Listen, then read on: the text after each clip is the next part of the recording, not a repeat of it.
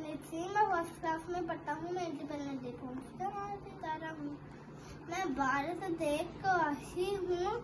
मैं यह शान से कहता हूँ।